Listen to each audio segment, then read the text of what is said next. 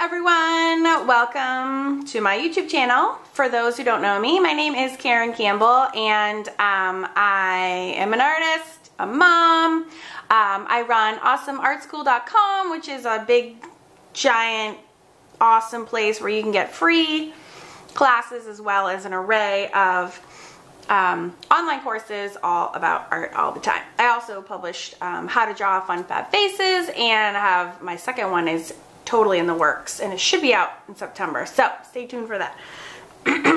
okay, why am I here today?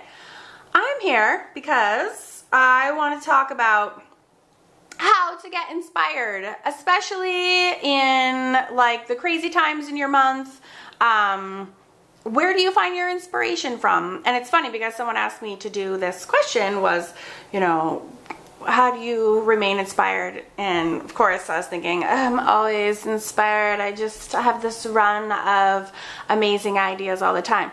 Which, when my kids are on a reg regular schedule, when I've outlined, you know, my daily plan, or I have a project that I need to be done, I do have a generally inspiration comes pretty naturally and pretty easy easily to me because I'm a visual creative person. Anyways, but you know, it's funny because I was trying to answer this question and then I realized I do. There are times when I need to buckle down and, um, you know, kind of like force the inspiration to come out. And so while I was trying to answer the question, I came up with six tips on how I specifically kind of get my mind going and ready to create a project from like nothing when I am not feeling it at all. Like right now in the summer and my kids are driving me crazy and I'm very stressed and I need to take a minute and whip out a project and here is how I do it. Step one, clean up and be in your space because a clean room is a clean head. I find. So sometimes I realize I'm not going in my studio because it's a hot mess. And um, while I'm a naturally messy person, even the messiest people find um, you know, uh, it, it's like a creative block. Almost physically, I can't even get to my space. I'm physically blocked and I can't get there, then I'm not going to be making any work. So take 15 minutes and clear your space out, okay? And then you can be clear in the head and you can move forward. Number two, put on some music and try to identify what your mood is. If you're super stressed, sometimes when I'm super stressed, I'll like put on like techno or like Britney Spears or something that's like equals my energy level. And actually that can like help me like pour or funnel my already like spastic energy even more and it helps me work through it, get it out on paper, and then I can kind of relax when I'm done. Sometimes I do the opposite. If I'm super high strung and relaxed and I can't stop and focus and be inspired, I'll put like really super relaxing, either classical or like Yanni or like cheesy Enya or or piano music, and then it like helps calm me down first and then I can work on getting creative. So try different music um, and see how that affects your mood. And I find that affects my artwork tremendously in, in any number of di different directions. And that can be really fun. Put a musical on and like sing the whole time. So music is huge for me.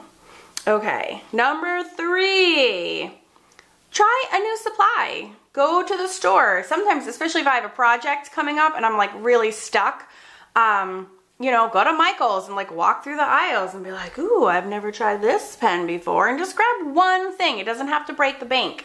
Um, but new art supplies, obviously, are naturally inspirational. Everybody knows that. But treat yourself to something. Maybe it's like a new stencil or a stamp.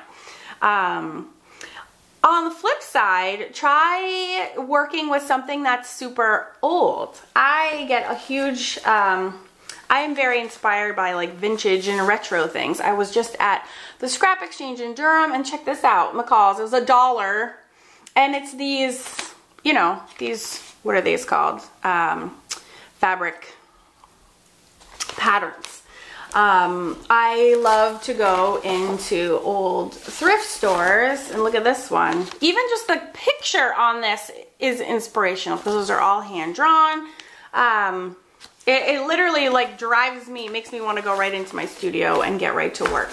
Um, you can also pick up, oh my god, look at this one. How funny is that? I mean, get out of here. That just makes me want to go paint something. Um, you can also pick up, um, I just got this at another thrift store, just um, new collage material, right? So I can use this and literally rip it up and just, you know, just say, hey, these are my supplies and that's what I'm going to be using today and just go. All right, so new art supplies. Um, oh, I'm not vain too, sometimes I also, like, I get so overwhelmed because I love mixed media and I like to use like a hundred different things in one project. Sometimes if I really am stuck, I'll do the opposite and I'll say, okay, today I can only use this one thing. This, I don't know why this is even on my desk. It's like a hunk of graphite and I'll just say, pretend this is the only material in existence and you have to use some, you do something with this. And then I will. Um, so like if you challenge yourself to like a limited palette rather than an unlimited palette, that can be kind of a way to like just to get you out of your funk.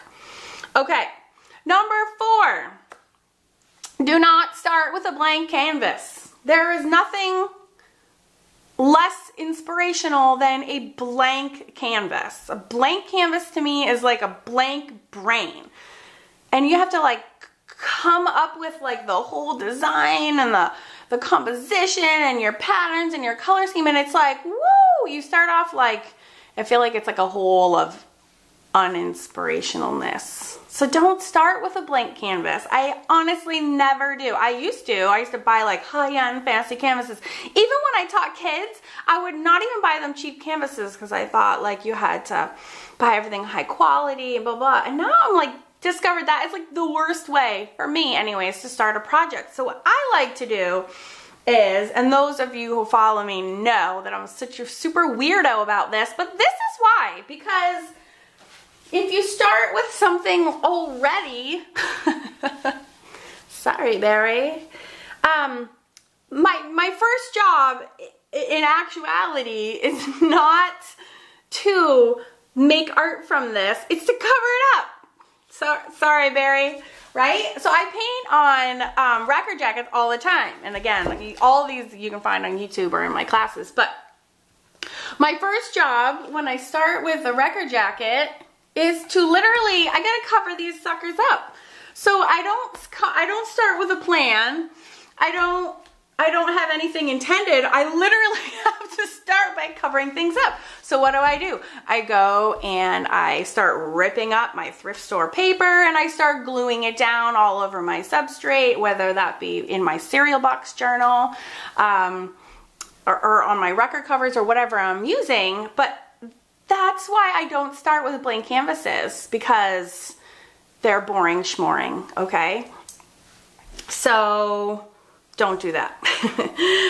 um, number five, um, use, and this is an obvious one, go to Pinterest, go to Google, you know, Google cool art, right? And find an image that speaks to you, that when you see it, you're like, oh my God, I love that. I want to try it. Or, um, you know, there's just something about it that don't do images that you like. Find an image that like you love and you want you take a part of it and make it your own or you want to try to do it exactly, which is fine if you're practicing. Don't do that if you if your aim is to sell something because that's not legal and not right. But if you're just practicing and you're playing and you just want to stay in the creative mode and get your juices flowing, by all means, bang it out exactly as you see it.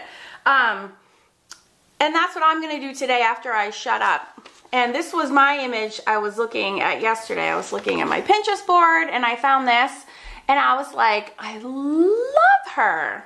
I love her. And it's digital art. It's not, it's not even a photograph. But so I'm going to try to recreate her in my own journal today. Again, I'm not going to sell her, so I feel confident that I can practice. And if it ends up being the same, awesome. I always try to make it my own in some way. But um, just so you know, I'm not gonna go off and try to sell that. I will rip off this gorgeous artist, whoever this is. I give them full credit and I appreciate them allowing me to just practice that for my own business. Um, and that leads me into my sixth and final point. I don't, I can't, six. this is ten. Sixth point, which is give yourself permission to not be perfect. I think sometimes when you're like, okay, I'm gonna make something today, like all of a sudden your expectations of like making a masterpiece are like off the charts. And like that's scary. And then all of a sudden you feel uncomfortable and you get insecure. And then you get like nervous about your lines being right. And I want you to like knock that all off right now. Just take a deep breath and be like I'm just gonna practice. And it's just for me. And I don't even have to show this to anyone in the whole world. This is just for me. And um I think you just need to give yourself permission to do that. And I think I that took me a long time to do. I used to always like, you know, I didn't want to waste my time making something less than perfect. Well, that's stupid because you're not making you're not wasting your time. You're practicing and honing your skill. You're practicing your observation skills and your hand-eye coordination and learning to draw what you see and shading and proportions and all this stuff every time you sit down and draw or paint something, you're practicing to make yourself better, you know, eventually in the long run. So there's never, it's never wasted time to practice. And the more journals you have going and the more sketchbooks you have, um, the better that you're gonna be. So give yourself, always give yourself permission to make mistakes and like just, I always am like, okay, I don't care how this turns out. And those are always, always my best pieces because I truly am relaxed then and can do my best and to get it out. So without further ado, I'm going to shut my mouth and get my own party started today and practice with my what, what I preach. Um, because I am stressed and I'm not in a good creative place and I have someone actually coming to my house in an hour, in, in an hour and 45 minutes and I just spent two hours dropping my kids off at camps and blah blah blah. But I'm gonna stop and I'm gonna put on my music. I already have my image. I have my substrate that I'm going to use. I, for one single dollar, was, again, picked up this 1962 um, storybook, which I love it because the pages are matte. Um, there's already illustrations, so there's already color on here. Um, and there's not a lot of pages, so I can fill this up, you know, in a month or two. Um, and I'm going to do my first page. I just bought this, and I just, I'm going to do my first page today. Um, so I have my background, no blank canvas, and I'm going to simply start, and I do this all the time, and I guess you could consider this tip seven, which is open a book, you know, if you want to use, I use recycled cereal boxes to make journals out of, um, and even just like this first empty page is scary and actually cute. I might, oh, there's like even drawing on it. That's so cute. Um, and I just start by gessoing over the page that's just, and then I'm kind of ready to begin. So I'm going to do a simple drawing today because this video is supposed to be about 10 minutes and I'm already at 13. I haven't done anything yet. So, um, but that's how I'm to start. New upcycled something with a layer of gesso and then I can begin either collaging, painting, or drawing. Okay, so thank you for listening. I hope that's helpful in some way or another, and I hope you enjoy watching my project. If you have any questions, just pop them in the comments. I'm, I'm more than happy to help, and um,